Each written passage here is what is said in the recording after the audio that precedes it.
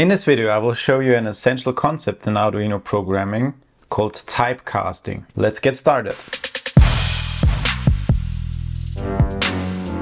Typecasting is the process of converting a variable from one type to another. This is especially useful in situations where you need to ensure that your variables are in the correct format for a specific operation. Let's take a look at some basics. I will serial print with 9600 baud. I will create an integer variable, a floating point variable, a character variable, and I will just print everything.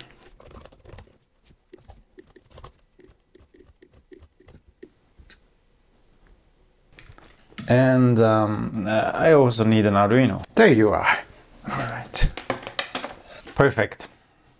First, let's convert an integer into a float. So I will just assign the integer variable to the float variable. Let's see what happens.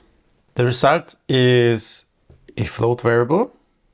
So it is 42.00. This right here is known as implicit casting. It works automatically. However, you can also cast explicitly. It would look like this. So now we convert the integer variable into the type float before assigning it to float variable. And the outcome is exactly the same as before. But let me show you something that might confuse you at first. Let's convert a character variable into an integer variable. And then we don't print the float variable, we just print the character variable. And after the character variable, we print the integer variable. So this again is implicit casting. And we just assign a character variable to an integer variable. Let's see what happens. Now this is interesting.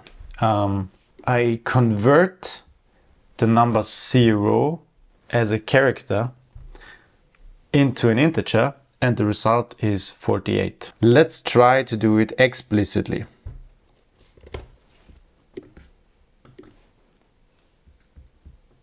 It's the same. So what's going on here? The type character can store all sorts of different symbols. The symbol 0 is represented by the number 48. And this is called ASCII.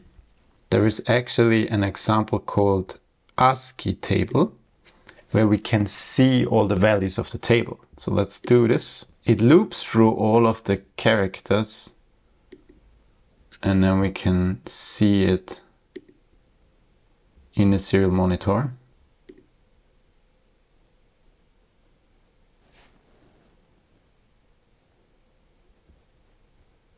So here you can see the ASCII table. So we start with the decimal number 33. There are actually also characters that can't be printed. And these are only the characters that can be printed, apparently, because you can see them here. And so if we go to zero, you see zero is 48. And then thankfully, um, they are in the correct order. So one is 49 and so on until nine. So here comes your exercise. I would like to have a function that converts a character number into an integer number. How would this function look like? So the function has return value of int and I will call it character to int and it takes a character variable number as parameter and we need to return this character number as integer number. And so what we could do is we say, okay, I need an integer and we want to return a number, right? But now it's not correct because zero would return 48. And so what we could do is we subtract 48, but that looks weird because why 48? We could also subtract zero because this also represents 48 if it is casted into an integer. Explicitly in this case, it also works by implicit casting, but this way it's more explicit, right? Let's try it out. So instead of just assigning the character variable like this, I will use character to int and assign a character variable.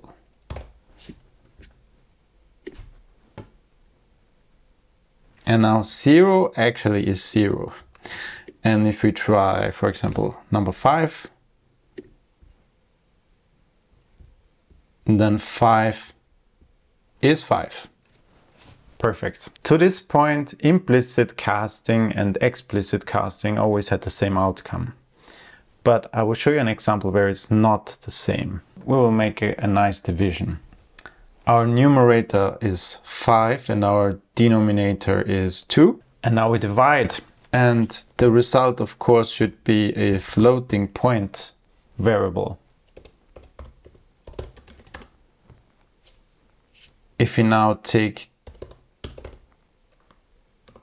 the numerator and divide it by the denominator,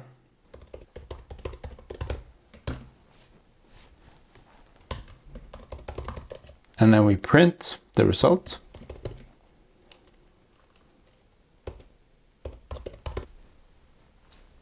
So now the result is 2.00, which of course is wrong, but both of the variables are integer variables, and so it's an integer division. An integer division just ignores the decimal places. We need to explicitly cast the integer variables into float variables before we divide. And it actually works as soon as you cast one of them.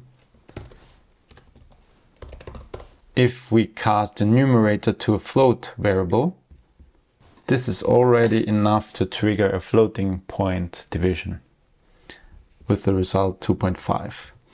But I really like to cast everything explicitly so that it's more clear and the result stays the same. And just so that you see what happened before, if we don't explicitly cast here,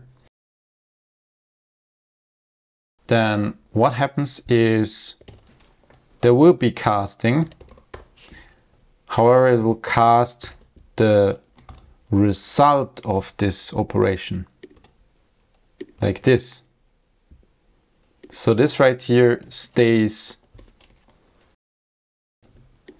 and this right here also stays of type integer.